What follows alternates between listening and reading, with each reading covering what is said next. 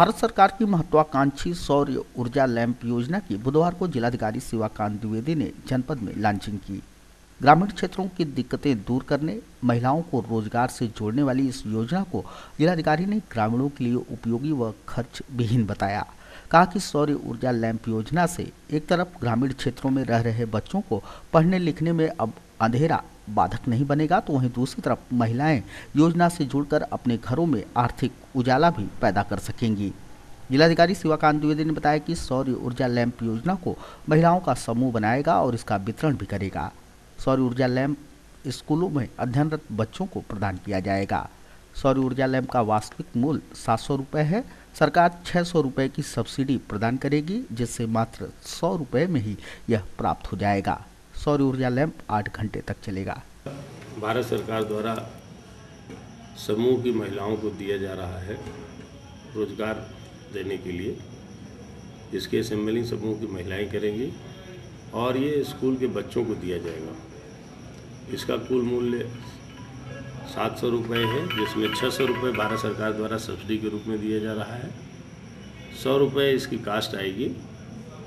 एक बच्चे को एक ये दिया जाएगा। और जो इसको डिस्ट्रीब्यूशन में जो महिलाएँ लगाई जाएँगी, प्रति पीस डिस्ट्रीब्यूट करने पर इनको सत्रह रुपये और जो इसके असेंबलिंग का काम करेंगी, उनको प्रति पीस बारह रुपये दिया जाएगा। इसका दो उद्देश्य है। एक तो ग्रामीण अंचल में खास करके, जहाँ पर कई बार बिजली की समस्या रहती है, बच्चों को पढ़ने में इससे सुविधा रहेगी। अगर बिजली चल भी जाती है किसी कारणवश तो इस लैम्प का उपयोग करके वो अपनी पढ़ाई कर सकते हैं। घरेलू काम में भी इसका उपयोग हो सकता है, अगर बिजली नहीं है, ज़रूरत पड़ गई एकाएक तो इसे आठ घंटे तक चलेगा। और एक बार चार्ज हो जाने पर सोलर एनर्जी से इसे चार्ज होना है, किसी प्रकार का खर्च नहीं यह बहुत ही उपयोगी है, ग्रामीण अंचल के लिए, छात्रों के लिए, पढ़ाई के लिए, और एनआरएलएम से जुड़ी हुई समूह महिलाओं के लिए भी बड़ा उपयोगी है, कि तो उनको घर पर बैठे बैठाए काम मिलता है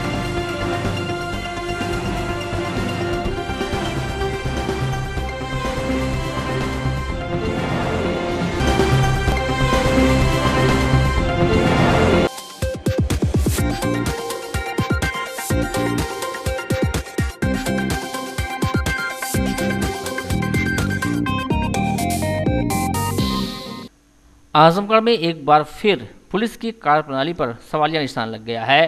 तीन दिन पूर्व सिधाई थाना क्षेत्र के चकभाई खां गाँव में एक गृह प्रवेश कार्यक्रम के दौरान एक युवक की ताबड़तोड़ गोली मारकर कुछ लोगों ने सरेआम हत्या कर दी थी। घटना में पुलिस की भूमिका पर परिजन लगातार सवाल खड़े कर रहे हैं।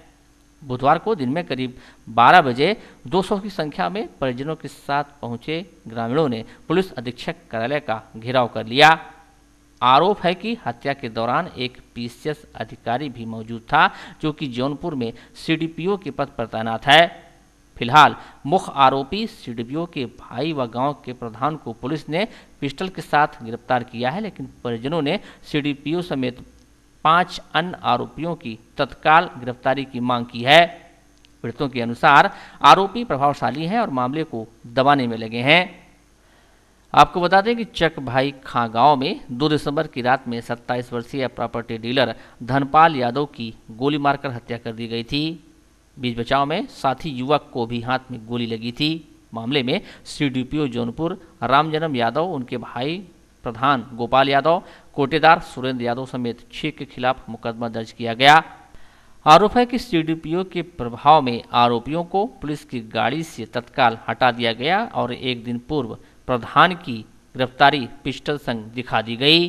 खुलेआम आरोपी के लोग गाँव में धमकी दे रहे हैं कि किसी भी आरोपी का कुछ नहीं होगा। घटना से गाँव के लोग दहशत में हैं। इसके चलते ग्रामीण जिला मुख्यालय पहुँच गए। धनपाल की शादी साल भर पूर्व हुई थी। उसे दो माह की पुत्री है। उसकी पत्नी की हालत खराब है। वह भी जिला मुख्यालय न्याय की गुहार लगाने लोगों के साथ पहुँची थी। ग्रामीणों ने एसपी सिटी से मिलकर पुलिस की कार्यप्रणाली को लेकर आक्रोश जताया। उनको चाहिए रामचंद्र है, ना उसका भाई लोअर पी अधिकारी है, वही पकड़ के मरवाया है और बोल रहा है प्रशासन हमारे साथ है। उसको गोपाल को जाके चाय पानी सब लोग करा रहे हैं, कोई कुछ नहीं कर रहा है, हम लोग के साथ कोई है ही नहीं, कुछ नहीं कर रहा है। हम लोग को तीन दिन का टाइम दिए थे, चार दिन हो गया, कोई कुछ भी नहीं कर रहा है। जल्दी से जल्दी उसका गिरफ्तारी करवाइए, यही चाहिए। उसको सजा दिलवाइए। भाई धनपाल यादव की गोपाल और राम जन्म, ये लोग हत्या कर दिए हैं, और भी संदिग्ध लोग उसके साथ में थे।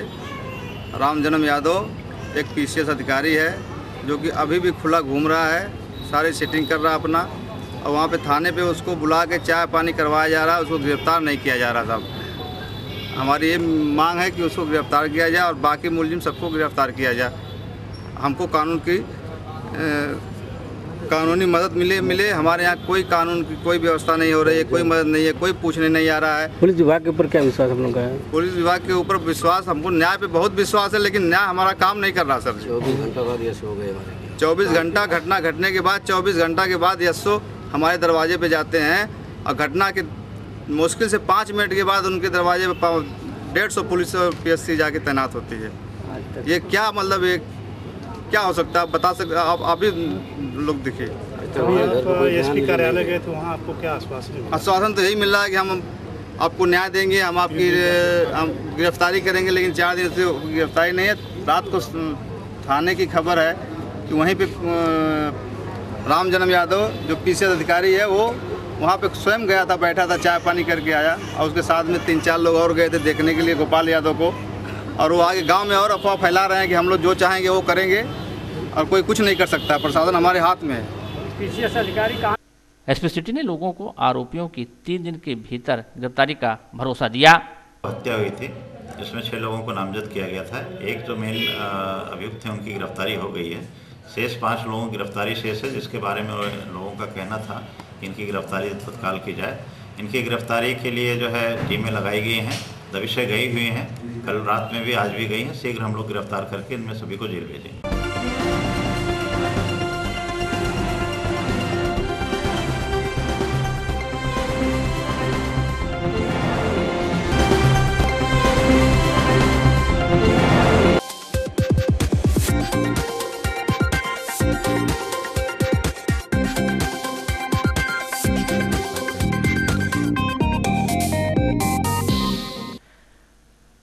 मंडलायुक्त जगतराज ने मंडल के तीनों जनपदों में प्रधानमंत्री आवास योजना ग्रामीण के अंतर्गत लाभार्थियों को तृतीय किस्त कम निर्गत करने तथा बड़ी संख्या में लाभार्थियों की स्वीकृति लंबित पाए जाने पर असंतोष व्यक्त करते हुए तीनों जनपद के मुख्य विकास अधिकारियों को व्यक्तिगत ध्यान देकर अपेक्षित प्रगति लाने का निर्देश दिया है।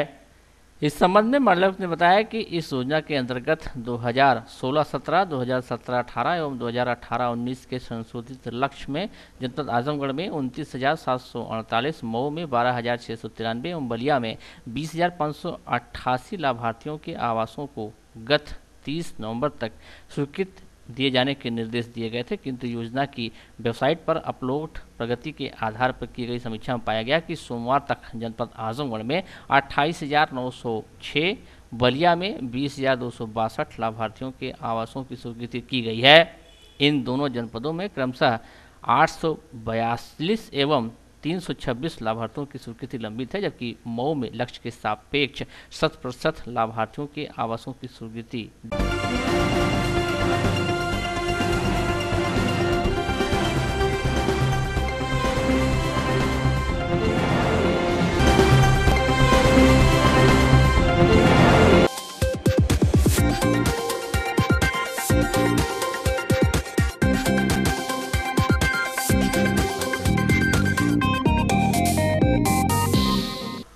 विघटन और गठन के दौर के बाद प्रगतिशील समाजवादी पार्टी सड़क के ज़रिए अब सदन की ओर कदम बढ़ा रही है।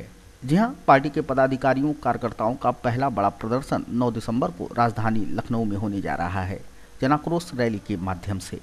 रमाबाई पार्क पार्टी की ताकत का एहसास कराए, इसके साथ ही साथ ईवीएम हटाओ, लोकतंत्र संविधान बचाओ किसानों को लाभकारी मूल्य प्रदान करने, जीएसटी, कानून व्यवस्था के मुद्दों को प्रमुखता से उठाने का काम जनाक्रोश रैली के माध्यम से प्रस्पा व उससे जुड़े संगठन करने जा रहे हैं।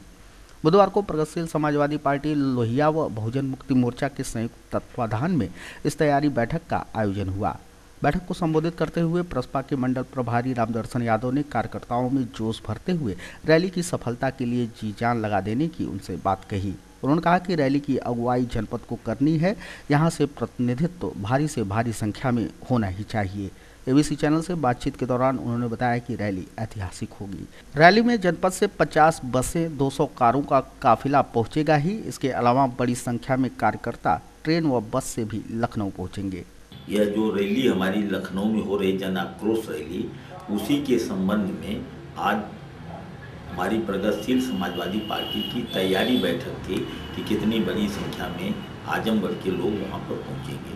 तो जो सूचनाएँ आई हैं पूरे जनपद से हमारे क्षेत्रीय अध्यक्ष आए थे हमारे नेता लोग आए थे प्रभारी लोग आए थे उन लोगों ने बताया कि करीब पचासों से ज़्यादा बसें हो जाएँगी और 200 कार्य हो जाएँगे। मेन उद्देश्य कि ईवीएम हटाओ पहला। दूसरा हमारा यह है कि संविधान की रक्षा के लिए लोकतंत्र बचाने के लिए, संविधान की रक्षा करने के लिए हम सब लोग इस जन आक्रोश रैली में पहुँचेंगे। किसानों को लाभकारी मिले किसानों को आज तक मतलब गन्ना का भुगतान आजमगढ़ की एक ही चीनी मिल है, का, किसानों का गन्ना भुगतान आज तक नहीं किया गया, दोबारा गन्ना पेरी नहीं जा रही है। क्रय केंद्रों पर गेहूँ खरीदे धान खरीदे नहीं जा रहे हैं और इस तरह से यह सब मांगों को लेकर और हमारी जो है जीएसटी उसमें प्रमुख मुद्दा ही है। यह तो लगातार चल रहा है और इसी तरह से हम चाह चाहते हैं कि जो आरक्षण है आरक्षण की जनगणना कराई जाए और उसके हिसाब से पिछड़ी जातियों को आरक्षण में शामिल किया था। अब कानून व्यवस्था आजमगढ़ का आप देख ही रहे हैं। आए दिन हत्या बलात्कार हो रहा है। रानी सराय की घटना उठा के देख लीजिए। प्रशासन पर जू नहीं रेंग रही है। प्रशासन कहता कि इस तरह की कोई घटना नहीं हुई है। दूसरी तरफ़ हत्याएँ, आए दिन हत्याएँ हो रही हैं। आप इसको भी देख लीजिए कहाँ कहाँ आजमगढ़ जनपद का कोई दिन ऐसा नहीं बचता है जहाँ हत्याएँ नहीं हैं। थाने जो हैं, लूट के अड्डे हो गए हैं। तहसीलें लूट की अड्डा हो हो गई हैं। यहाँ पर बिना पैसा दिए कोई काम होता नहीं है। आज अभी, चाहे कोई थाना आजमगढ़ का हो, सबकी एक ही जैसी स्थिति है। इसी सब, इस को लेकर के हमारी प्रगतिशील समाजवादी पार्टी जन आक्रोश रैली कर रही है। हमारे साथ वहाँ पर सभी हमारे सहयोगी दल भी हैं, जिसमें बहुजन मुक्त पार्टी भी हमारे साथ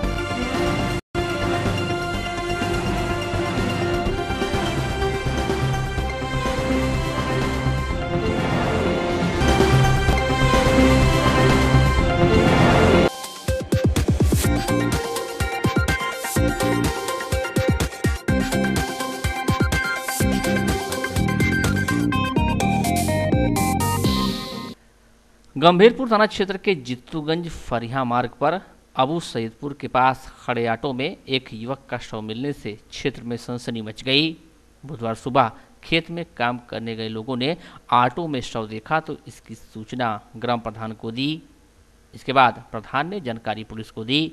शव मिलने की सूचना मिलते ही पुलिस अधीक्षक रविशंकर छवि, एसपी सिटी कमलेश बहादुर व सीओ सदर मोहम्मद अकमल फोर्स के साथ मौके पर पहुँचे। पुलिस ने शव को कब्जे में लेकर पोस्टमार्टम के लिए भेजा। ऑटो के नंबर का डिटेल निकलवाने के बाद मृतक की पहचान अनिल पुत्र सूबेदार निवासी ग्राम सईगड़ा थाना रानी की सराय के रूप में की गई। मृतक के पिता सूबेदार ने बताया कि अनिल मंगलवार सुबह 11 बजे ऑटो लेकर निकला था। जब वह रात 8 बजे तक घर नहीं पहुँचा तो घर वालों को चिंता सताने लगी परिजनों ने रात भर उसे ढूंढा लेकिन जानकारी नहीं मिल सकी। सुबह उसके मौत की खबर मिली, मृतक की शादी इसी साल जून महीने में हुई थी। परिजनों ने हत्या की आशंका जताई है। इस घटना में मुकदमा दर्ज कर पुलिस छानबीन में जुटी है। ये थाना गंभीरपुर क्षेत्र में, अबू शहीद गाँव में एक टेंपो में एक 25 वर्ष के युवक की डेड बॉडी मिली थी। तो उसको डेड बॉडी की पहचान हो गई है। वो टेंपो चालक हैं, ऊँची गोदाम रानी की सराय क्षेत्र का रहने वाला है। कल 11 बजे से अपने घर से टेंपो लेके निकला था। और पोस्टमार्टम कराया जा रहा है और बाकी कार्रवाई उसमें की जा रही है।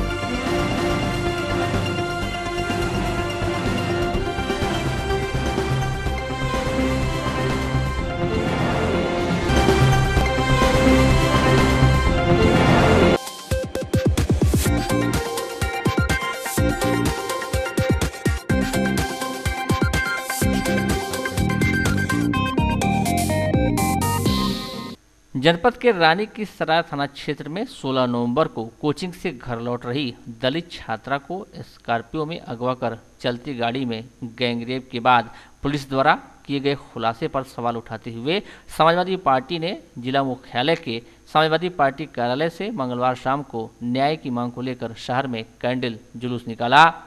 यह जुलूस शहर के मुख्य चौक तकिया कोट होते हुए रैदोपुर गांधी जी की प्रतिमा पर पहुँचा।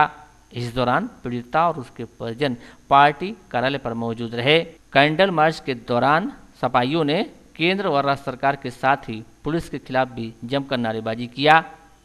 इस दौरान सपा जिला अध्यक्ष हवलदार यादव ने शासन और प्रशासन को आड़े हाथ लिया। कहा कि सही दोषियों पर कार्रवाई अगर नहीं की जाएगी तो 10 दिसंबर को थाने पर घेराव किया जाएगा। धरना दिया जाएगा। इसी सिलसिले में 8 दिसंबर को राष्ट्रीय अध्यक्ष के निर्देश पर घटना की जानकारी लेने के लिए सपा के राष्ट्रीय महासचिव पूर्व मंत्री इंद्रजीत सरोज आएँगे।